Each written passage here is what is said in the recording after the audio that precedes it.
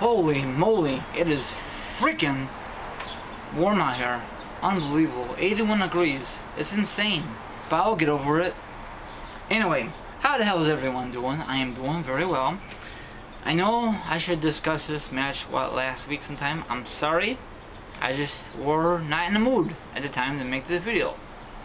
And now I'm gonna make it up for you, everyone out there who loves wrestling and all that hoopla. It's a six women's match. Okay, three on three.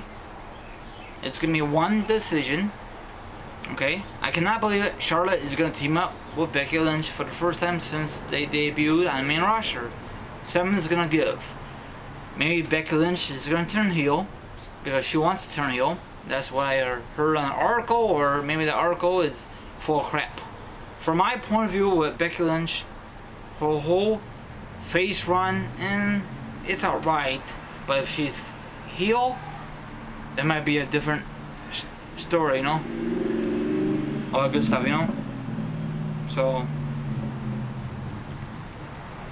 so other ladies, the welcome committee, this might be a good match. This might be a crap, uh, crappy match. So I don't know. WWE just throw this match right away. There's no really great build up. I know the welcome committee is very jealous of Charlotte because when she went to the SmackDown roster, Shayna Mac automatically gives her a shot at Naomi's SmackDown brand belt. That's very stupid because um, you should earn it. Just because Charlotte dominate the Raw brand for the women's division, that don't mean nothing for the SmackDown division.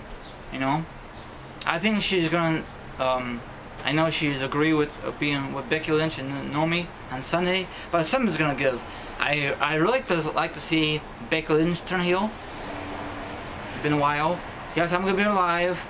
This might be a a crappy match. It might be a good match. It might be on a pre-show. Will WWE will give this match enough airtime? Who the hell knows? And who gives a darn? And all that good stuff, you know? Here is the photo for the Backlash for this tonight. It's an exclusive uh, show for um, SmackDown brand. I know I mentioned it a couple times. I'm going on Backlash. Hopefully, um, it's a great atmosphere. Sorry, this video is late. And look out for sometime this week. My friend myself will do Backlash predictions. So what's your thoughts on this match? Are you looking forward to this match? Or do you think WWE kind of rushed it? Do you like the new stable called the Welcome Committee? Or do you think the, that stable will be a total fail? What's your thoughts? And I'm freaking out here. I can get some water to, to cool off. Holy Toledo. Holy Toledo. I'm out.